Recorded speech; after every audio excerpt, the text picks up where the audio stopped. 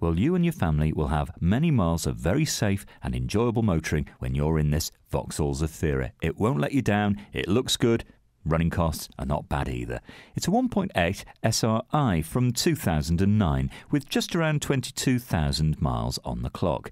Now, inside the cloth interior very comfortable, very spacious cabin, bags of space inside, in fact. You've got aircon, power assisted steering, making this big car feel really quite nimble as you're driving it, and ABS gives you that added braking confidence. You've got a CD player, so you'll be entertained on the move, and on the outside, well, it's finished off very nicely, this car, with its silver paintwork and those very smart alloys you'll get a combined 38 miles per gallon, and six months road tax is just over £100, so pretty much average running costs.